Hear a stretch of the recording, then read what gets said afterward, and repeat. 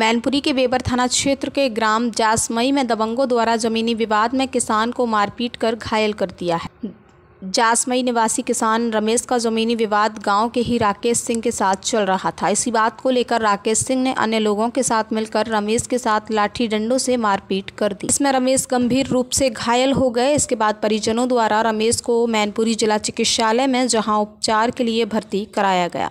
वहीं पीड़ित पक्ष की तहरीर पर पुलिस ने सात नामजद और एक अज्ञात के खिलाफ एफआईआर दर्ज कर ली है।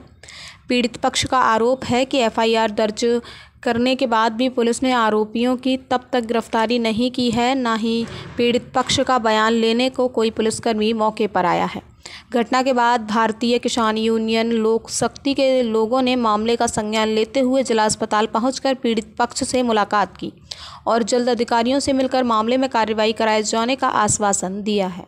जी, ये सत्रह तारीख का मैटर है। एक लोग हैं रमेश जी, उनके साथ मारपीट हुई। बेवर के पास में गाँव है उनका आठ लोगों ने उनके साथ मारपीट की।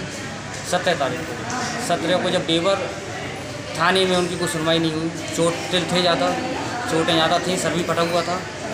जब थाने में कोई सुनवाई नहीं तो वो अपने इलाज के लिए गई इलाज के लिए वहाँ सरकारी अस्पताल में भी उनका इलाज नहीं किया, कराया गया। उसके बाद इन्होंने यहाँ जिला मैनपुरी अस्पताल में, चिकित्सालय में आकर अपना इलाज कराया।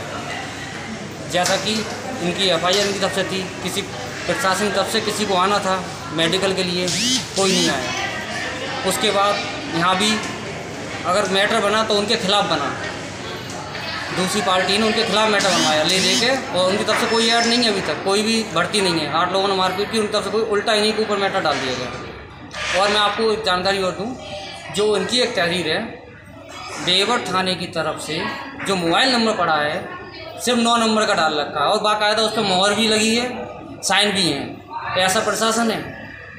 ये क्या क्या मदद करेंगे ये गरीब लोगों की? आप तो दबंगों के बस पैसा ऐसा लगता है जैसा कि वो कह रहे हैं जो पीड़ित है वो कह रहा है कि भैया इन्होंने पैसा ले लिया। इसका मतलब ये बात सही है? ले दबाव बना रहे हैं अच्छी तरीके से कि कंप्रोमाइज़ करा लूँ। और मैं ये कहना चाहूँगा प्रशासन से कि अगर इन पीड़ित के साथ ऐसा कुछ गलत भी हुआ, उल्टा कोई केस बना तो किसान यूनियन लोक शक्ति पूरी तरीके से उनके साथ है, प्रशासन को हिला डालेगी, आसपास के ज़िले से टीम बुलाएगी। ये मैटर कहीं भी गलत नहीं होना चाहिए। उनके साथ न्याय होना चाहिए अन्याय नहीं होना चाहिए।